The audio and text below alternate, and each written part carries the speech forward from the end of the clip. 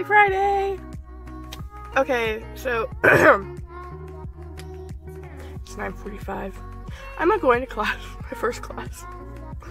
Um, I'm going to go do my Spanish homework that she gave us Wednesday.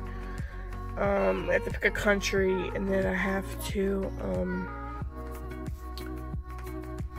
pick. We'll have to pick one of the countries she gave us, and then I have to do some research, blah blah, and write in Spanish.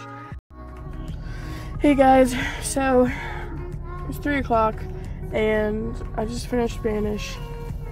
Yeah, I have so much homework. So much was for Spanish, just for Spanish. I have a lot of homework just for Spanish, and a um, writing assignment due Monday night. I might do it Monday. I'm not sure, but anyway, it depends on what I'm doing tomorrow because I still don't know.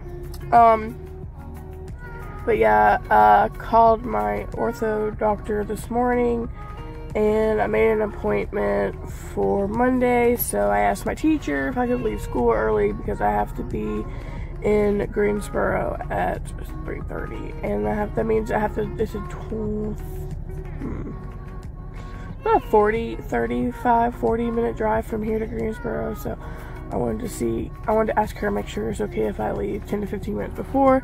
That way I'm not late. So yeah.